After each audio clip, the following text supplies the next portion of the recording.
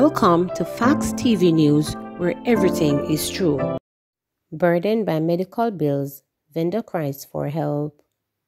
For 65 year old Marcia Clark, Christmas did not catch her in good mood this year, as she is burdened by the weight of expenses related to a trio of medical conditions hypertension, diabetes, and epilepsy. Clark reported that she has been suffering from hypertension for over 10 years but was diagnosed with diabetes and epilepsy two years ago. A juice vendor in Halfway Tree, St. Andrew, she said that the treatment for her ailments cost over $20,000 each month, which she is finding difficult to afford as she only makes around 2500 each day selling bottled juice and water. I really want help. As you can see, a little $50 water may have to come out and sell because you know you have to get your liquor pressure pill your sugar pill, and so on, Clark said. Clark also noted that the epilepsy medication is free at the clinic, but if they have none in stock, she would have to spend up to 11000 for a month's supply. I mostly try to get the seizure pill by the clinic because it is free there. But if them don't have any, may have to help myself and find it, she stated. You have a pharmacy over there. I'm telling you, it's one of the best pharmacy in Jamaica them deal with poor people. I can go over there and say sell me two days worth of medication and then sell me. Them not act uptight because it's up to halfway tree. When me go there, me buy one pill, me buy two pills. Me no know how that no tired of me, she said. Clark also expressed a desire to stop selling on the streets due to the unpredictability of epileptic seizures. I'd like to really come off the road because I am now 65 going on to 66 years and I've become an epileptic saint, me only know and would have want to take over my life, but me put God in front. The seizure dangerous, me cannot go across the road and just drop, she reported. Additionally, Clark said although she is now on the National Health Fund NHF, it's still expensive for her to purchase the most needed medication. Them advised me to go and get the NHF so that kind of make the pills them cheaper, but it's still expensive for me. At Christmas time now, how the time cold, much water don't sell now, you know, Clark explained. At the same time, she disclosed that her 35-year-old daughter tries to assist her whenever possible, but it's still not enough to cover her living expenses, plus covering the cost of tablets. Therefore, Clark is now looking to the public to assist her with purchasing a new igloo and donating products so that she continued to make a living. I'm a person that used to be on the go for myself. Not because me get sickly now, me still want help myself. Me igloo mash up, some juice and igloo would have helped me well, Clark said. A breath of fresh air for Christmas. A man who gave his name only as Donovan, supervisor of the Creamy Ice Cream store on Orange Street in downtown Kingston, is celebrating a relief from the stench and health hazard that affected the establishment when raw sewage overflowed from a manhole. Reporters visited the business earlier this week and Donovan was smiling, something he couldn't manage to do on December 6 as he watched a trickling down number of customers step cautiously on pallets inside the store to avoid the field as they purchased ice cream. Donovan was grateful for the response from the authorities to remedy the situation and thank reporters for highlighting their plight in the December 7 publication. Almost two weeks after the problem was corrected, the store is experiencing an increase in the number of customers. I feel much better because we can breathe fresh air. Do you see a lot of customers in here now? The last time you came, it wasn't like that. So I am very happy they came and did a good job I thank the authorities and the reporters for putting it in the paper, he said. The relief and increase in business was not felt by the Creamy alone. A Rastafarian vendor of corn provision and vegetables close to the Heywood Street Orange Street intersection said he feels better that the sewage no longer flow where he does business. He said that he could not believe that the authorities allowed the problem to continue for so long. Me feel a little better because me not smell the mess but them should have used the water and wash it off when it done. They need to treat people like people and not like animals. It was awful and devastating. Me can't believe say Jamaica this. Jamaicans are brilliant, but we do foolish things. Day after day, we had to walk in a sewage. It should not happen in the 21st century. A bus conductor who identified himself only by his alias Iron Teeth, who said he had to stomach the stench on many occasions during his trips to and from downtown Kingston in recent weeks, was pleased to receive a break from the raw sewage. It never pleasant for there and see them water there run. That's no good thing because if people make even a mistake and step in the water, them now go have nobody for so. They have some people who sensitive and them they have medical bills I go fall upon. Me glad say it clean up still, said the bus conductor.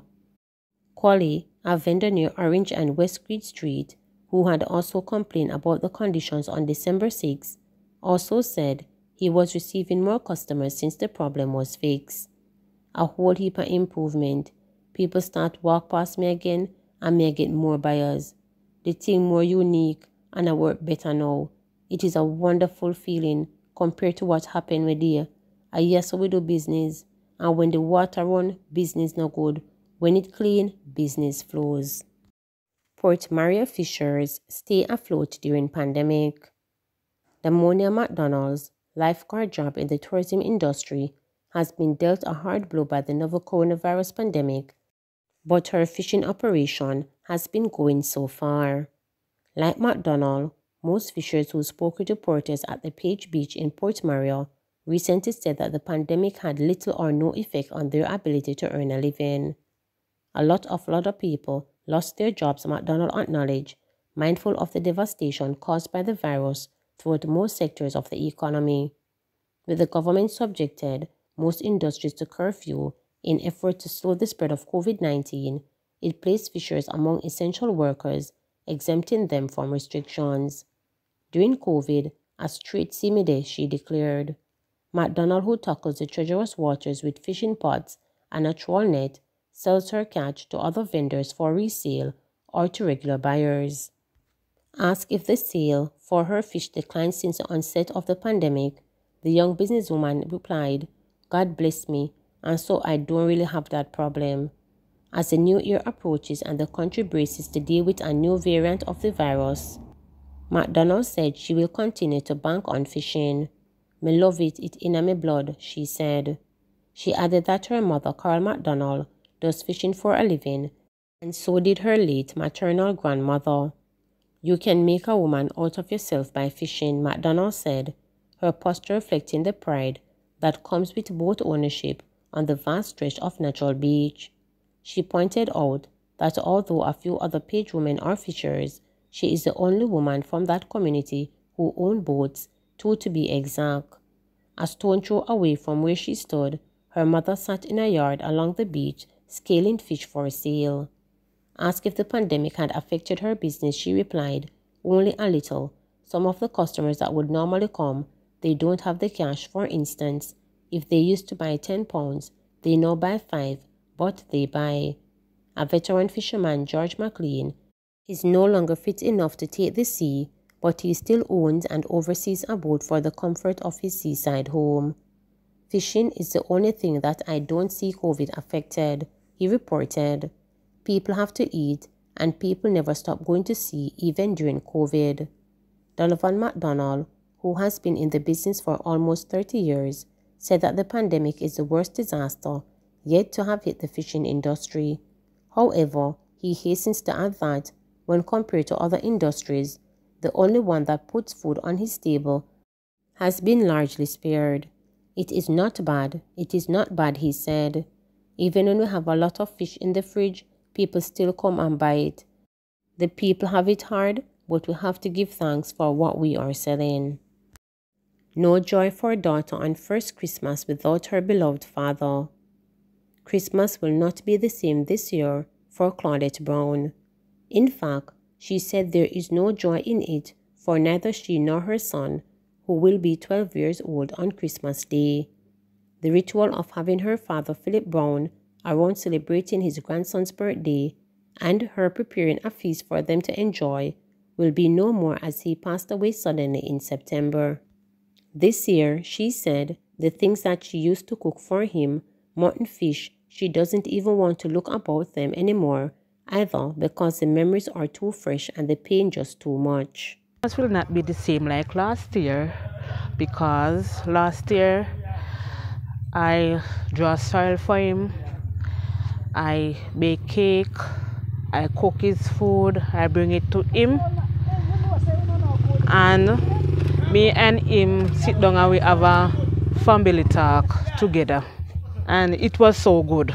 It sounds like you are really tight with your father. Me and him have a close relationship because certain stuff I will go to him and I will say, Dad, so and so, and he will say, Don't do that, do that the correct way. And I will say, All right, I will do that the correct way.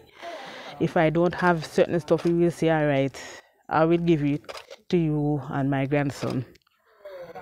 He always there for me in my time of troubles and need you have um, you are the only one for him? No, seven, seven of us, three boys and four girls.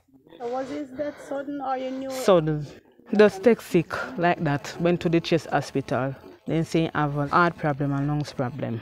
My son' birthday was on the 25th, and he was also there to let my son feel comfortable for his birthday. And my son appreciate that. But this year, my son don't feel pleased because he's not here to help him celebrate his birthday. And I feel so down because when I remember that I cooked his pork last year, I cooked his mutton and I cooked his fish and his cereal and his cake. So I feel so discouraged not to have him beside my side to do all this stuff for him. He passed off on the 6th of September while I was on my leave and he buried on the 26th of November. It is a sad move for me because I was blacked out that day. So I have to go to the doctor because my pressure was not balancing. I have a headache, sleepless night, weakness, and so forth. What was um, your fondest memory of him? I always go there and say, Phil, man, and you always bust out with that wonderful smile. Always smiling. Tell me one of the happiest memory you have of him. Things that you have done together. Places, cooking what is that cooking. to each other? Cooking together. So he's a very good cook? Yeah. He's the person who taught you how to cook? Yes. So when you're going to be preparing a meal, that still bring back memories of him? Yes, because certain stuff I don't cook it anymore. Tell us, tell us about that. um, when I try to cook certain meat, I don't try to buy it. I forget about it. Uh, if I'm going to prepare it, I just prepare like a small portion. Why is that so? Because I mean, my son, when he's alive, I try to cook certain amount for me and his grandson. So I try to either not cook it or cook a small portion of it. You can't bear it so No. It brings back memories. memories. Tell us one of those things that you remember him saying to both you and your son. I must not lick him. I must not lick him. If me carry him out of the yard, instead of bring him back come in the yard because I am look after him for my three months old till he's 11. So he's not here to live to see his 12th birthday. How you coping? How you gonna get through this? Counseling. Counseling. Oh, you have been receiving counseling? Yes. Okay. Um, I know you are hurting, but talk to others who are hurting like yourself. Maybe they have lost uh, a parent or a, or a partner. What would you say to them? Ah, same thing. You tell them to seek counseling. Yeah. Barking Lodge Christmas Wish, a home for an elderly farmer.